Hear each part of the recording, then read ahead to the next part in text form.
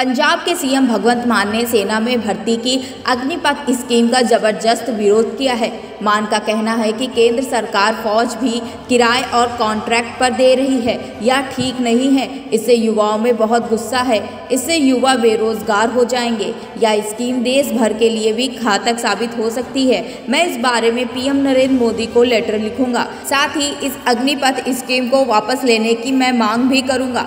भगवंत मान ने कहा कि अग्निपथ के नाम पर यह कौन सा कानून निकाल दिया है?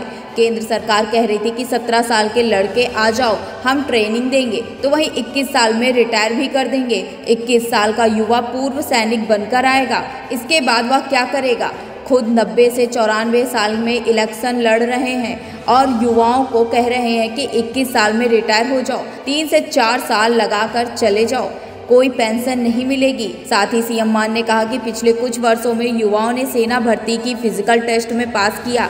अग्निपथ स्कीम लागू करने की जगह उनका रिटर्न एग्ज़ाम लिया जाए। उन्होंने कहा कि कितनी बेतुकी बात है कि हज़ारों युवा फ़िज़िकल टेस्ट देकर बैठे हैं और उनका एग्ज़ाम भी नहीं लिया गया।